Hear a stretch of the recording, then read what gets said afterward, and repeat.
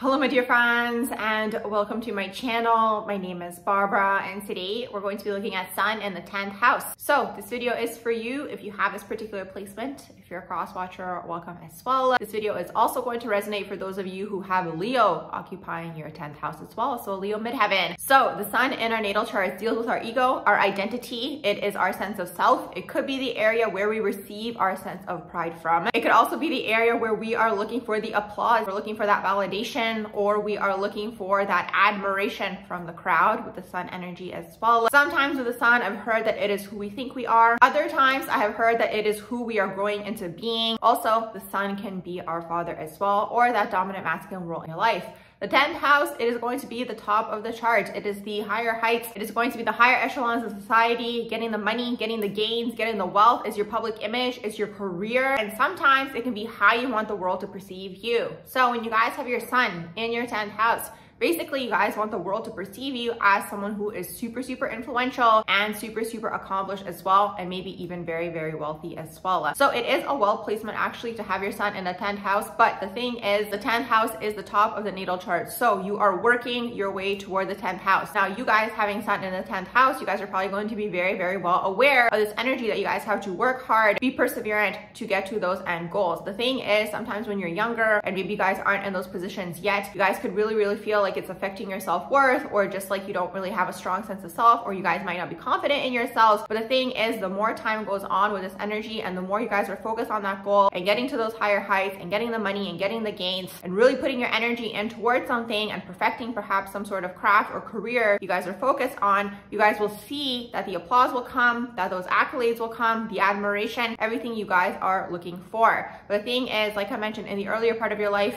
maybe you guys aren't there yet necessarily because that's the thing, the 10th house, usually you are climbing to that energy. It is the top of the natal chart and usually the 10th house or Capricorn energy or just Saturn energy overall, it's the second half of your life. Now, I'm not trying to discourage anyone, but that's just the nature of the energy. Obviously, depends on the aspects and what else is going on in your natal chart and transits and all of these things.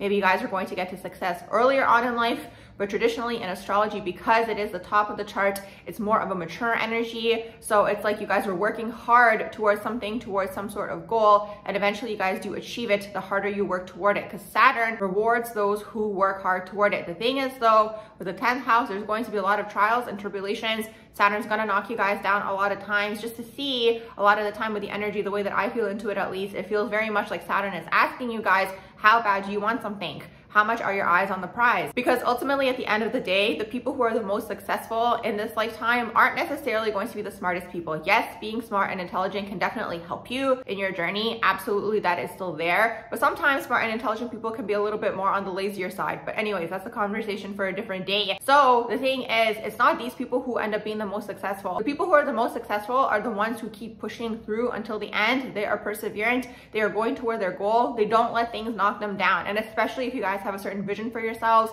or goal for yourselves, the way that I have always seen it is if you have a vision for yourself, you were given that vision for a specific reason. So the 10th house is teaching you guys exactly this. It's that grit energy is really what that is. And you guys have that. So you incarnated already having this energy within yourselves. Now it depends on the rest of the energies in your natal chart once again and what else is going on in your natal charts to see how this could manifest, what area of life this could manifest in. But this is really the whole premise here. The harder you guys work towards something, the more you guys are putting your energy and attention toward that particular thing, the more you guys are going to see an outcome is really, really what that is. Now the 10th house overall can be your career. Yes, it can also be how you want the public to perceive you as well. A lot of the time, traditionally, the 10th house is associated with like governmental structures or like political structures, corporate structures as well. But it doesn't just have to be this in terms of maybe the career that you guys are going for, especially if you have Leo in that 10th house. The thing is, when we look at Leo in the 10th house, this is going to be someone who wants to be seen and respected and viewed as someone who is a very, very creative person when you have Leo in that 10th house. So if we look at Sun in the 10th house, maybe this is something that you guys are going to be interested in as well. Depends what's the sign in here and what else is going on overall in your natal charts, what's going on with your midheaven as well, because we are looking at the 10th house as well. It's going to give us a little bit more information as to how this energy is is going to express itself. Maybe it's going to be in a completely different realm of life.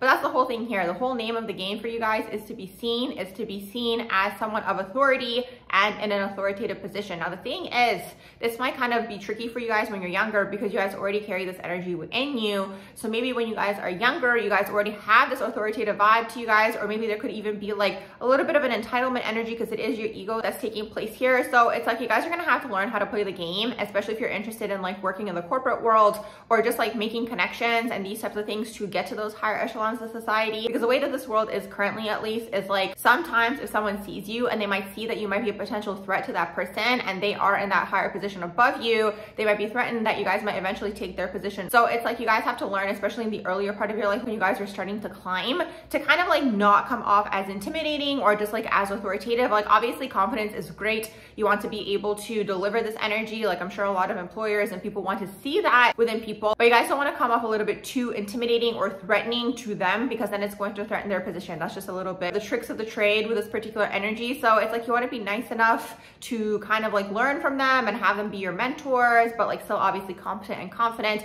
but not too intimidating or too threatening where it's like they might feel threatened that they are going to be replaced eventually. Obviously, this isn't going to be the case for everybody. Sometimes there are very nice mentors out there in the world who just like want to take someone under their wing and don't care whether they get replaced or not. But more often than not in these corporate structures and especially in the higher echelons of society, you guys have to look at it as it's a similar energy to what you guys have in your natal charts. It's like when someone creates a lot of their ego and their identity to a particular thing, it's like when that thing is no longer there, they might struggle with their sense of self, for example. So it's like you guys could have this energy within you as well because it is your ego. You guys could create a lot of your ego or your identity around your career or how the public perceives you, or maybe you guys do get to those higher echelons of society, and then maybe you guys might be the ones who don't want to promote people because you guys don't want to lose your position. The thing is, that might not be everybody, but the thing is with the sun energy and just like the ego in general, and this is probably why they say sometimes the sun is who we think we are, because sometimes we create our ego through something that is external to us or our identity through something that is external to us, when a thing is no longer in our life, it might threaten our sense of security, it'll definitely threaten the sense of self, and you guys might not know who you guys are without that particular thing. So it's like to learn to manage the energy within you guys, it's like, yes, definitely have your accomplishments and have your accolades and have your positions and all of these wonderful things, but like don't hold on to it too tightly. I hope that makes sense because it's like, it might kind of hold you guys back because it might be a little bit of a struggle as to what might take place if that particular thing is no longer there in your life. So it's like a lot of your self-worth and your identity is created through this particular thing, but keep in mind to maybe have other hobbies on the side or other things that you guys are going after or just like enjoying or like other aspects of your personality. So you guys don't get into that position where you're dependent on this particular thing to be your sense of self or to be your validation or to kind of have that applause from the crowd is really, really what that is with this particular energy. So another thing that can take place also, what's really, really interesting is like with the sun, it can be the father. And then the Leo energy can also be like validation that we're seeking or just like the applause that we're seeking or just like the recognition and the approval. So what I've been saying in a lot of these videos is sometimes with the sun energy, first of all, the father could have been like this. So you guys could have learned from the father. Maybe the father was someone who was working in the government or like some sort of higher up corporate role, or maybe he was like very well known and respected,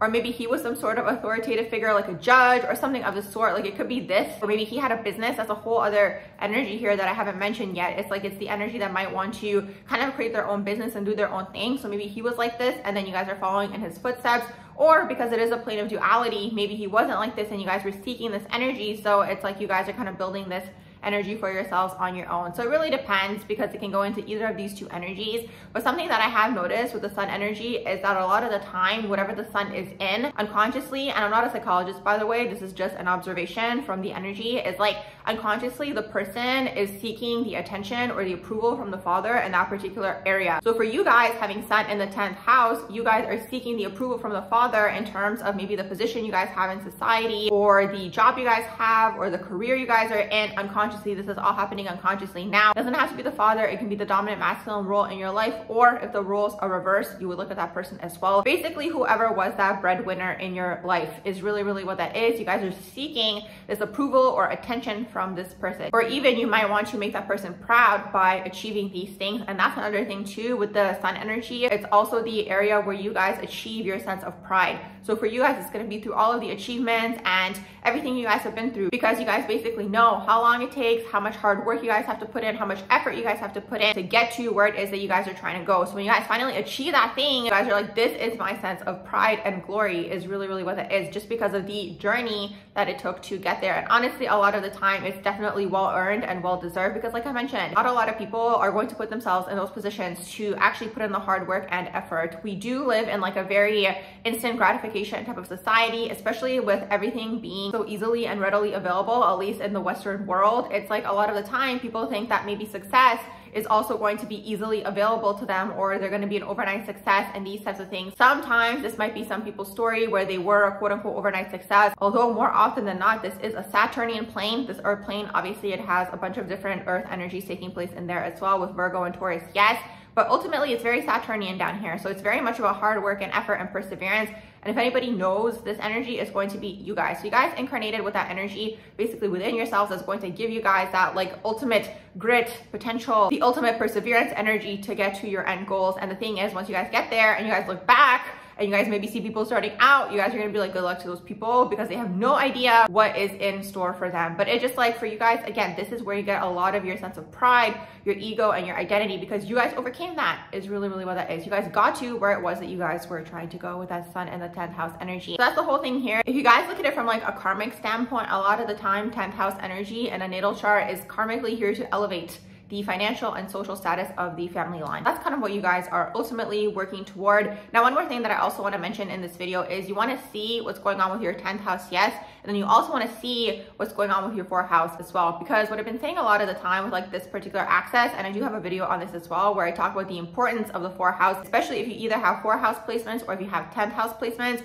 the thing is a lot of the time you can't get to the 10th house if you haven't gone through the preceding houses and learned what the preceding houses are here to teach you guys. And because the fourth house is directly opposing this, it's going to be your home, it's going to be your upbringing and belief systems that you may have internalized from the home. So a lot of the time what I say to people is if your 10th house isn't going in the direction that you want it to go in, or maybe there's something that might be holding you guys back and you don't know what it is, look at your fourth house and see what took place within your home, within your upbringing, because there could be something here that you guys may have internalized or a belief system that could energetically be holding you guys back from achieving that ultimate 10th house potential. The thing is, sometimes with a natal chart, the way that I see it at least is this is a potential as well. So it's like for you to achieve that ultimate potential, there could be certain shadow things or just things overall that are holding you guys back from achieving that ultimate potential. So you really want to explore and see what are those things so you guys can work on that energy within to ultimately get that goal that you guys are seeking. So signing here is going to give you a little bit more information about this as well. So this is the overall idea with Sun in the 10th house. You guys are creating your identity through this, your ego, your sense of self, your sense of pride. You're looking for the admiration in this particular area, which is your career, your achievements, where you guys are going in life, what you guys have achieved in life, perhaps even what you guys do for work, or even your overall public image. So with all that being said, I'm going to wrap up this video here on Sun in the 10th house.